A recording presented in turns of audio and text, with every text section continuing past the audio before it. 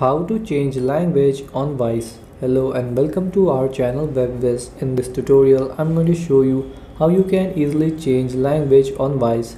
So please watch till the end to properly understand the tutorial.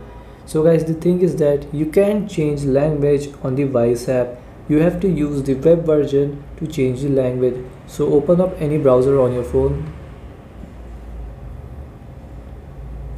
Then here search for www.wise.com and then here once you're on the website you have to tap on these three dots in the top right corner if you are using Chrome. And then here you will see translate. And then here in translate you will see these three dots. Tap on it. And then tap on more languages. And from here you can select to which language you want to change so after selecting the language will change. So guys this is how you can change language on Wise. Thanks for watching